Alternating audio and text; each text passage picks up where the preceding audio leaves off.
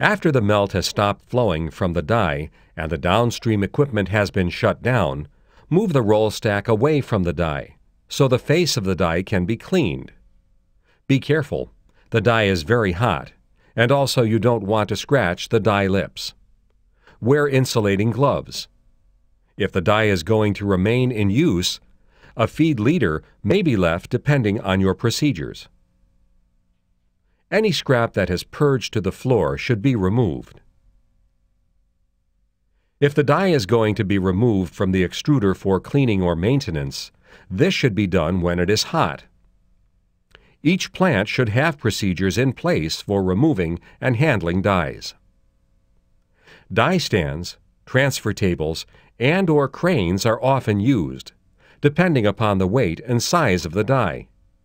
When lifting dies, always use the lifting lugs, which are designed to keep the die in a balanced position. To clean the die, first make sure the electrical power is off. Then you can loosen all the body bolts. Next, use jack bolts to split the die apart. When the die is split, lift the die half off the dowel pins. Use a soft brass tool to scrape out the hot plastic in the flow channel. After the plastic is scraped out, the flow channel is polished.